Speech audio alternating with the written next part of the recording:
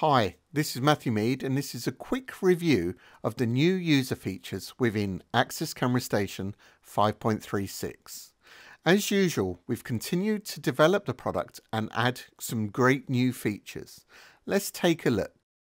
Within the Unified Access Control, we've now removed the beta tag.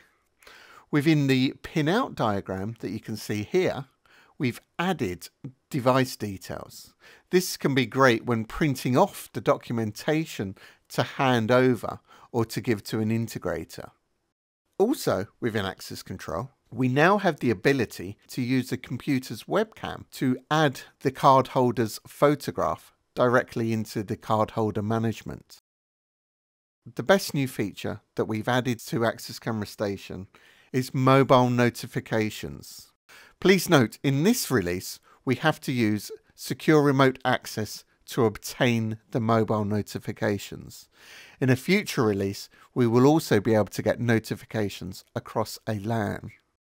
In this example, I've added a door forced alarm from the access control as the trigger and then I've added the mobile notification as the action.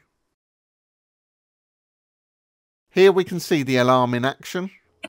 I've triggered the door forced and now we receive the notification on our mobile device. We can now click on the notification and be taken directly to the live video. I hope this has been of interest. Thank you for watching.